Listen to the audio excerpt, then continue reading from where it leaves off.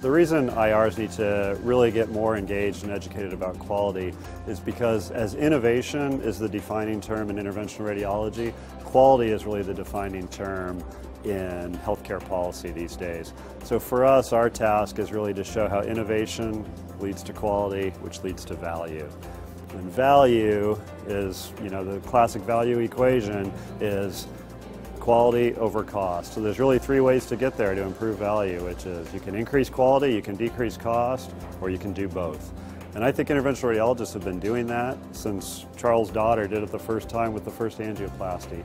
You know, he really added value to the healthcare system. So that's really what, what we're having to prove now uh, what we've already, what we've always known, but now we have to get the evidence to prove it. I think policymakers, payers, legislators, so many people, that's really where they're at these days. As I think everybody uh, likely knows, healthcare is a, a huge uh, cost uh, to the country, and so we really, you know, and patients are bearing a larger burden of that cost. So it's really incumbent on all of us that participate in the healthcare system to make sure that we're providing the best value to patients as possible. So that is part of the, the challenge challenge is to get some objectivity incorporated into, uh, into, the, into value and into quality. Things like quality measures help us do that. By finding evidence-based quality measures, that is the way that we can objectify things. I think most people believe that they provide good quality care and I think they endeavor to do that. But I think we can also all agree that there's probably some variation and some range in the quality that's delivered by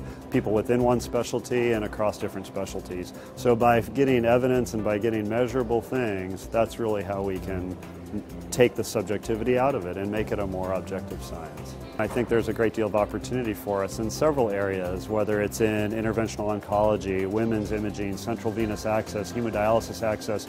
We have huge volumes, we have robust patient populations, we have unmatched expertise, and I think there's, we've already made great strides and there's a lot more we can do to really show the, the by evidence the value that we provide in those kind of uh, service lines to our patients.